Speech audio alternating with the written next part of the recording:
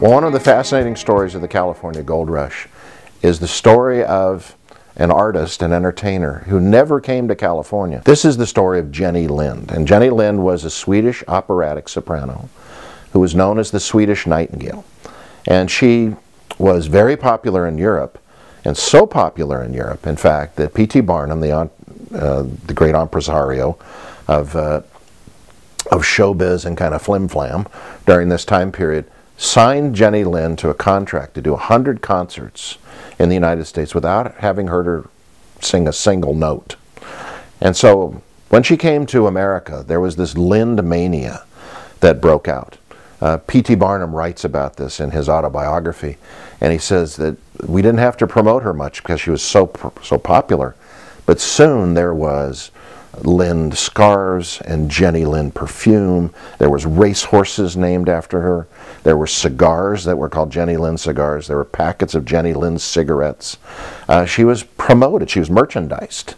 And she was so popular that when the California Gold Rush hit, many of the, the people who came from back east or from Europe or from uh, other parts of the world brought with them this mania about Jenny Lind.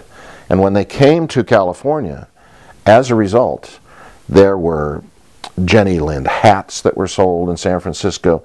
There were Jenny Lind clothing. There's Jenny Lind furniture. There was a wagon called the Jenny Lind that was commonly used. And there were many hotels.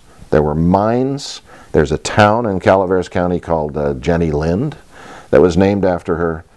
And up here in Nevada City, there was a theater built called the Jenny Lind Theater.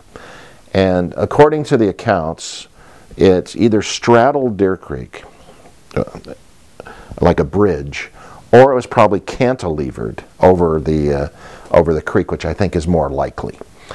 And in 1852, there was a huge flood, very similar to what happened in 2017 here in, uh, in Northern California. And the flood swept down through Deer Creek and among the structures that were destroyed was a boarding house called the Illinois Boarding House, and right next to it was the Jenny Lind Theater. And it was washed down Deer Creek and shattered. Well, according to the newspaper account, this was in March of 1852, the Alta California newspaper uh, said uh, this. It says, We have intelligence of a heavy disaster by flood at Nevada, meaning Nevada City. That was the original, one of the original names of the town. Two quartz mills, the Jenny Lind Theater, and the Empire Hotel have been washed away. The river was rushing in a foaming mad torrent through the lower part of the city. Great excitement existed, and fears were entertained for the safety of that action of the town.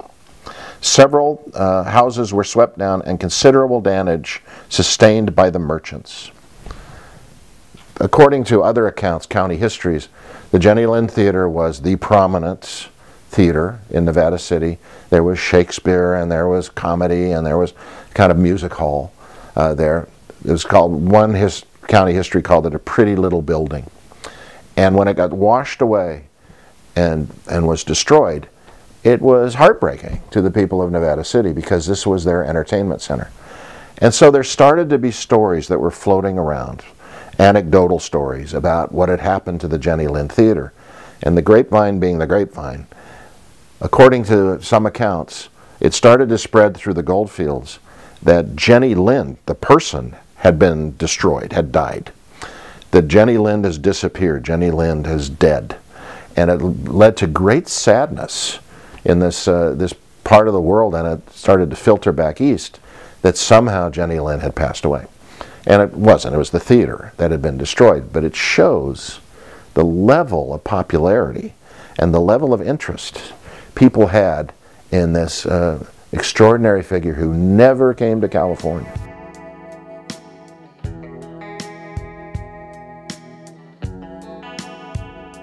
And she was so popular throughout the United States that it led to a kind of mania.